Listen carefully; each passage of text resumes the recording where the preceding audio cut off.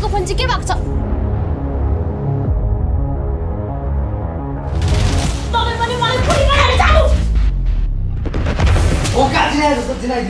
के रे कस्तो रे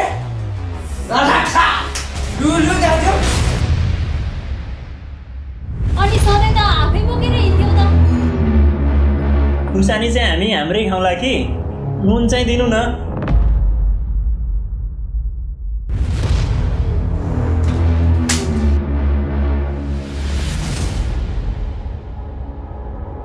लाउने किन हो यो तान्जन हो ताम्रो तिम्रो बटुकाको च्यात्छु कि यो?